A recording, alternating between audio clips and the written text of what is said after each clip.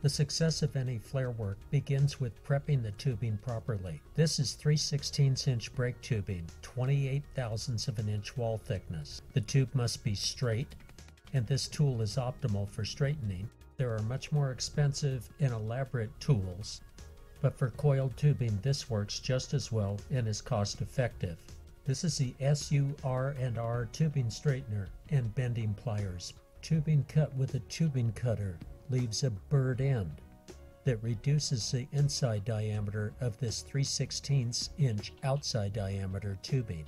Here, a mini tubing cutter from OTC cuts just the flared end off tubing. This also leaves a burred end that has to be reamed. This tubing reamer from Inline Tube has 45 degree cutting angles for both the outside and inside diameter of the tubing. This flaring tool uses a split pair of dies. The channel in the dies is smooth. This particular type of die setup is least damaging to the tubing.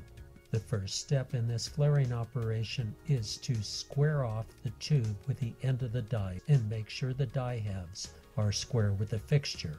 The flat punch squares up the tubing with the end of the die and squares the die with the fixture. The bridge screw now can be tightened to secure the die halves to the fixture. Good and snug is plenty tight.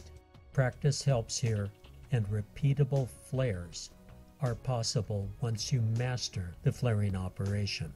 For the 45 degree inverted flare, the first step is the punch that forms the bubble and the inside flare the 45 degree cone that forms the outside flare is the same cone that's used for single flaring. This cone or punch will make the second lap of the double inverted 45 degree flare.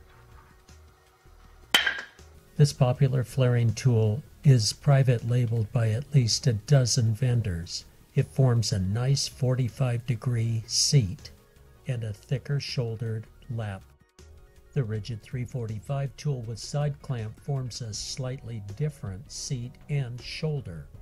This is a very good 45 degree inverted double flare with 45 degree angles on the back side and the seat. This is tube preparation with some red rubber grease to make the flare punch work easier. This time the die halves are set for DIN, a metric bubble flare.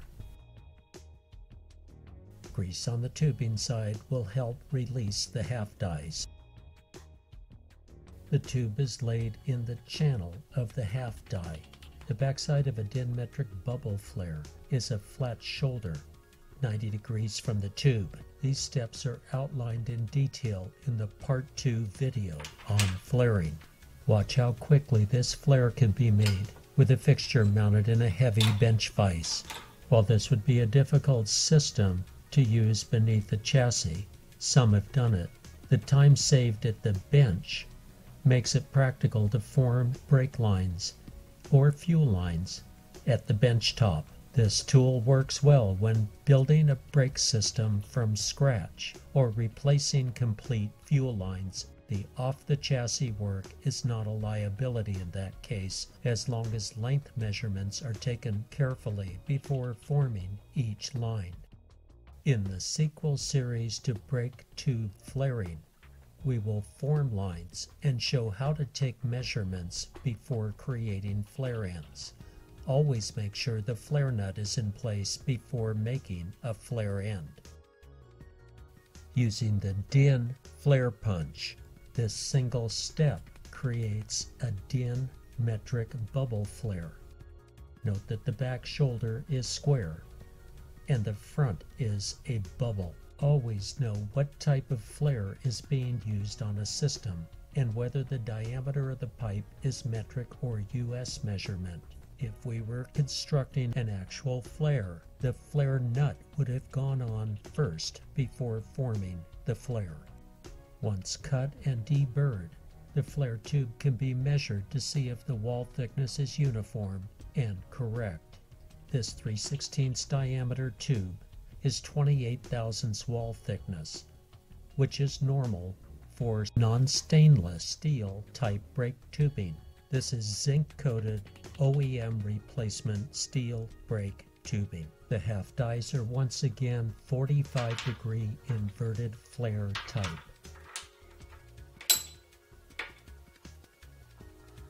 Tighten the bridge screw just enough to secure the die block and allow the tube to slide freely through the die halves. And square off the blocks and the tube end with the flat punch. Tighten the bridge handle. The first forming step is the bubble flare. This is a punch for the 3 16 inch diameter tubing.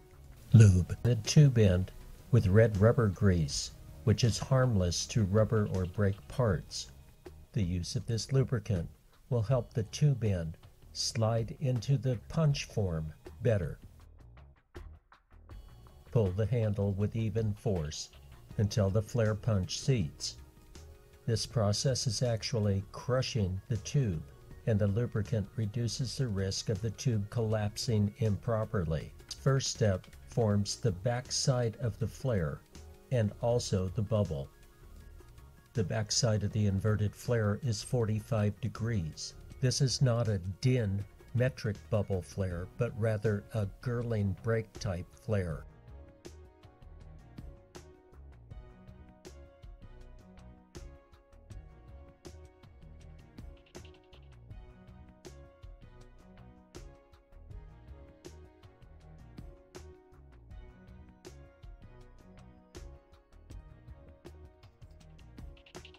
Note that the DIN die block set has a square shoulder on the backside. This is not a 45 degree inverted flare.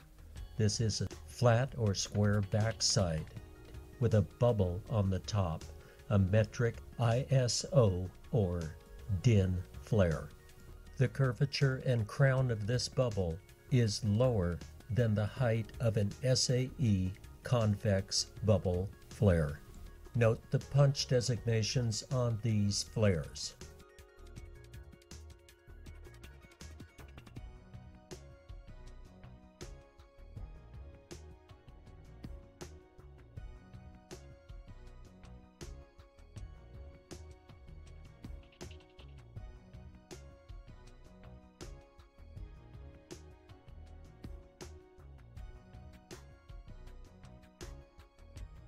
This is a well-formed ISO DIN metric flare. Later American models have moved toward the DIN or ISO metric flare. The metric bubble has appeared on Corvettes and other American models. The bubble flare at the right is an SAE convex or Girling British type flare. The SAE convex flare is the first step in the formation of a 45 degree SAE double inverted flare. Nearly all U.S. vehicles use a double inverted 45 degree flare. This flare was formed with a Flare Force pneumatic tool. The unique advantage of the Flare Force is its portability and repeatable 45 degree flares. Note that the Flare Force seat is narrower than the seat formed with a lever handle tool. Each of these seats is fully functional. The wider seat would have more contact surface with the fitting. The die block of the lever handled turret flare punch is easier on the backside tubing. These dies have smooth channels that do not mar the tubing behind the flare. Here is another example of the convex SAE flare formed with a lever handle tool. On this double flare, polished with Scotch-Brite, the zinc coating is still intact. Scotch-Brite can also be used to polish the flare seat. A smooth surface here is essential. There are diamond lapping tools for this operation. Race vehicles have polished flare seats. Jaw marks from the Flare Force tool can be polished out as well. An SU-R&R hydraulic flaring tool formed this excellent backside flare. The 45 degree angle is a match for the flare nut. This DIN ISO metric bubble flare formed with a lever handle punch flare tool is nicely shaped, has no nicks, and looks professionally made. The same tool formed this SAE convex or Girling British style flare.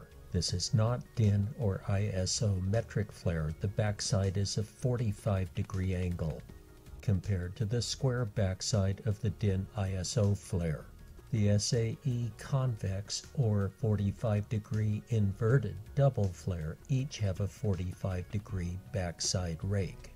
This is a 45 degree inverted flare made by the SUR&R hydraulic flaring tool. Hydraulic and pneumatic flaring tools make flares that resemble the factory or manufactured flare. Compared to the lever handle manual tool, the shoulder of the flare is narrower.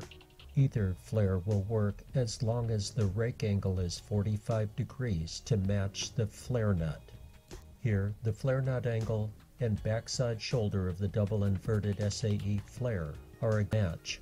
This will provide a tight seal against the flare nut seat. Pressure between the cylinder or hose seat can exceed 1500 psi. Normal operating pressures for a disc brake system are 12 to 1400 psi. Flare laps and angles must be smooth with no nicks or damage. Jaw or die clamping that damages zinc coating can lead to rust formation and premature deterioration of the tube. Brake tubes get replaced when they look like this. In the Midwest Rust Belt, it would be a lot worse. Tubing would look more like this. Flare nuts take a pounding too. Hex flats get rounded and chewed up in the process of removing the tube.